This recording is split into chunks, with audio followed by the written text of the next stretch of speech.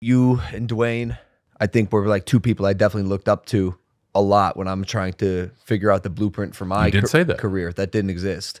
Um, Dwayne especially, my idol, Dude's in his own universe, my hero, like in his own universe. dent the universe.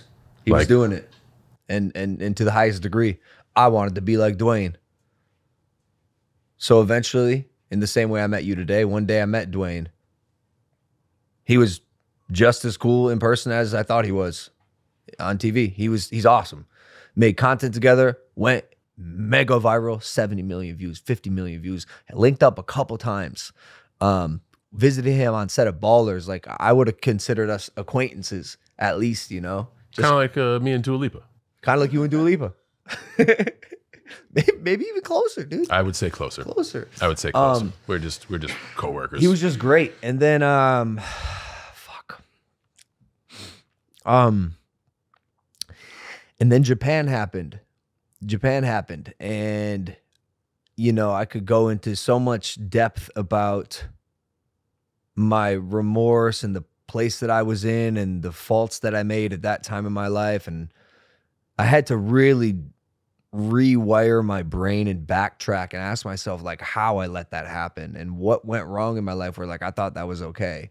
And in that process, I did a lot of damage. And it wasn't something that was on the forefront of my mind and I've had to do a tremendous amount of therapy and figure out like what happened in my life that was so traumatic or didn't happen where I, again that I did that.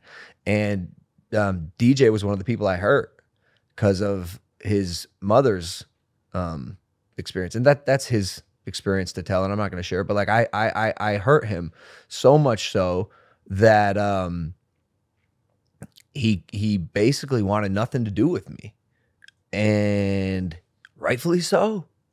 You know, I I let down my hero, and he requested that I remove all the content we've ever done together and basically kicked me to the curb. I would have done the same thing. Guy in his position doesn't want to be affiliated with a person who did uh, something as reprehensible as that. And I remember it being such a low moment because, like, I knew I let myself down. I knew I let my fans down. I knew I let my family down. But my idol, too, man, it just stung so bad. And it wasn't like I got the call from him, got it from the publicist. Mm. And it's not like he did anything wrong. It just like, I think my ego told myself that I'm gonna fucking remember that. And if I ever become a great one day like you, I'm gonna remember this. And I'm gonna remember the way I was discarded. And again, rightfully so. Um, but I, I don't think I've ever r- b- been really able to like truly let go of that. And uh, I, I got a lot of stuff to work through, I think, in, in, in terms of that. And I'm not even sure like where to go from here in, in terms of reconciliation. Um,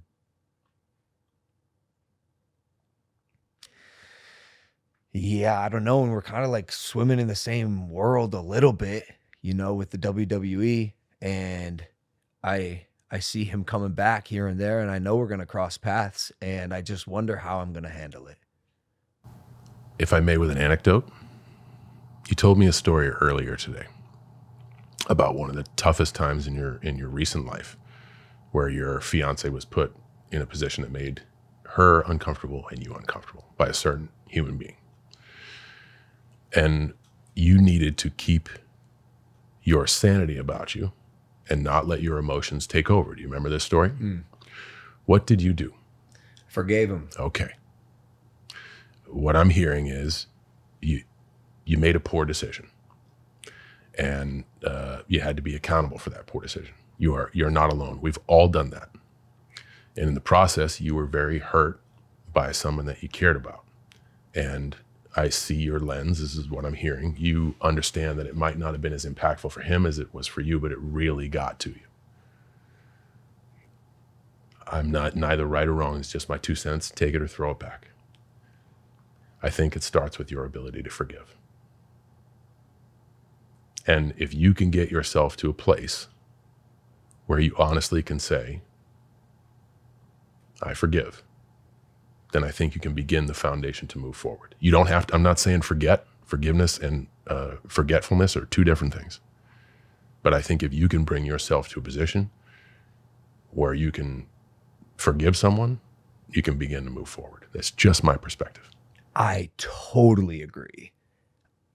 I think I have an ego problem. It's it's like Okay. kind of hard. It's I don't know why. It's like like I don't know.